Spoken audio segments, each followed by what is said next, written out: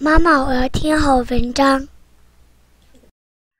猫郑振铎，我家养了好几次猫，结局总是失踪或死亡。三妹是最喜欢猫的，她常在课后回家时逗着猫玩。有一次，从隔壁要了一只新生的猫来，花白的猫，很活泼，如带着泥土的白雪球似的，常在廊前太阳光里滚来滚去。三妹常常取了一条红带。或一根绳子在他面前来回的拖摇着，他便扑过来抢，又扑过去抢。我坐在藤椅上看着他们，可以微笑着消耗过一两个小时的光阴。那时太阳光暖暖的照着，心上感着生命的新鲜与快乐。后来这只猫不知怎的，忽然消瘦了，也不肯吃东西，光泽的毛也乌色了，终日躺在厅上的椅下，不肯出来。三妹想着种种方法逗他，他都不理会。我们都很替他忧郁。三妹特地买了一个很小很小的铜铃，用红领带穿了，挂在他颈下，但只显得不相称。他只是毫无生意的、懒惰的、郁闷的躺着。有一天中午，我从编译所回来，三妹很难过的说道：“哥哥，小猫死了。”我心里也感着一缕的酸心。可怜这两月来相伴的小吕，当时只得安慰着三妹道：“不要紧，我再向别处要一只来给你。”隔了几天，二妹从虹口舅舅家里回来，她道：“舅舅那里有三四只小猫，很有趣，正要送给人家。”三妹便怂恿着她去要一只来。礼拜天，母亲回来了，却带了一只浑身黄色的小猫同来。这一来，三妹一部分的注意。又被这只黄色小猫吸引去了。这只小猫较第一只更有趣、更活泼。它在园中乱跑，又会爬树。有时蝴蝶安详地飞过时，它也会扑过去捉。它似乎太活泼了，一点也不怕生人。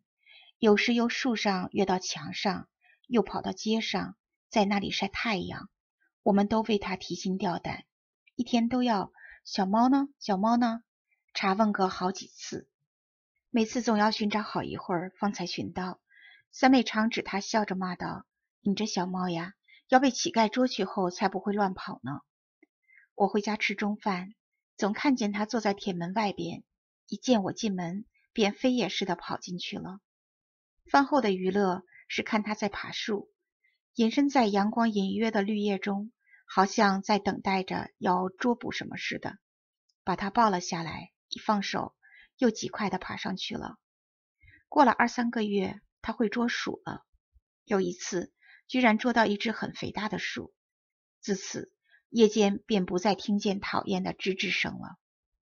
某一日清晨，我起床来，披了衣下楼，没有看见小猫，在小园里找了一遍，也不见，心里便有些王师的预警。三妹，小猫呢？他慌忙地跑下楼来，答道：“我刚才也寻了一遍，没有看见。家里的人都忙乱地在寻找，但终于不见。”李嫂道：“我一早起来开门，还见他在厅上烧饭时，才不见了他。”大家都不高兴，好像亡失了一个亲爱的同伴。连向来不大喜欢他的张婶也说：“可惜，可惜，这样好的一只小猫。”我心里还有一线希望。以为他偶然跑到远处去，也许会认得归途的。午饭时，张婶诉说道：“刚才遇到隔壁周家的丫头，她说早上看见我家的小猫在门外被一个过路的人捉去了。”于是这个王师证实了。三妹很不高兴地咕噜着道：“他们看见了，为什么不出来阻止？他们明晓得他是我家的。”我也怅然的、愤恨的。在诅骂着那个不知名的夺去我们所爱的东西的人。自此，我家好久不养猫。冬天的早晨，门口全伏着一只很可怜的小猫，毛色是花白，但并不好看，又很瘦。它伏着不去，我们如不取来留养，至少也要为冬寒与饥饿所杀。张婶把它拾了进来，每天给它饭吃，但大家都不大喜欢它，它不活泼。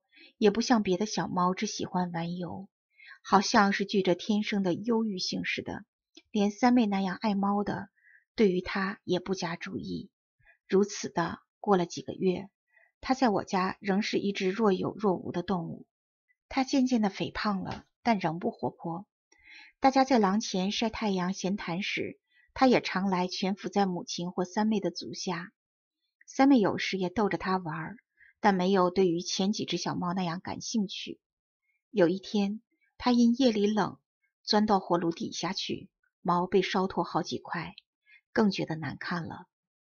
春天来了，它成了一只壮猫了，却仍不改它的忧郁性，也不去捉鼠，终日懒惰的伏着，吃得胖胖的。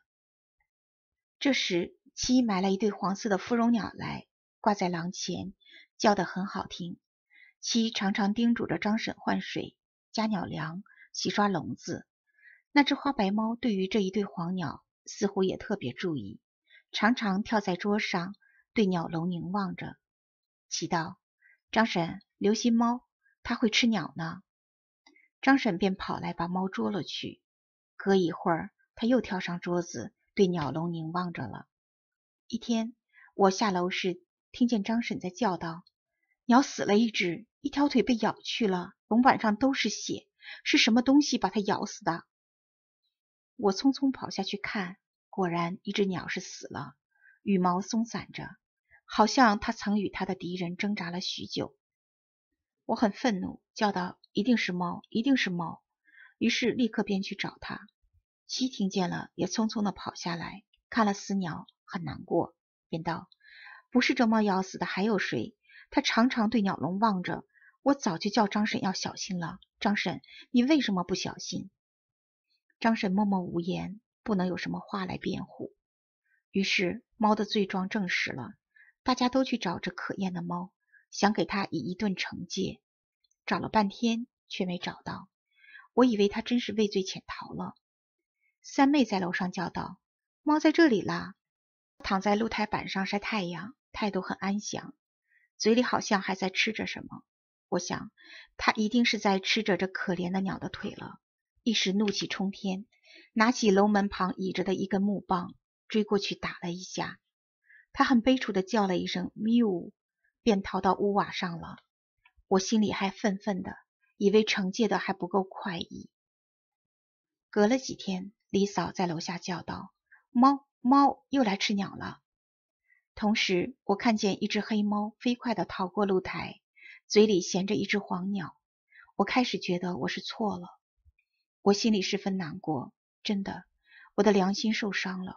我没有判断明白，便妄下断语，冤苦了一只不能说话变俗的动物。想到它的无抵抗的逃避，一时我感到我的暴怒，我的虐待都是真，刺我的良心的针。两个月后，我们的猫忽然死在邻家的屋脊上。我对于它的亡失，比以前的两只猫的亡失更难过得多。我永无改正我的过失的机会了。自此，我家永不养猫。